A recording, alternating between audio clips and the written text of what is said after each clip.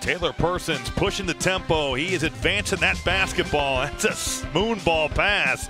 And Skyler Flatten letting it go from downtown. Flatten.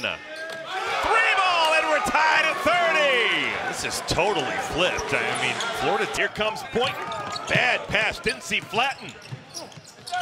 First field goal for the Fort Wayne Champs comes in transition. Flatten.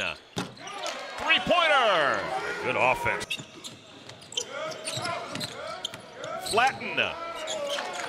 He's got two field goals now early in the ball game.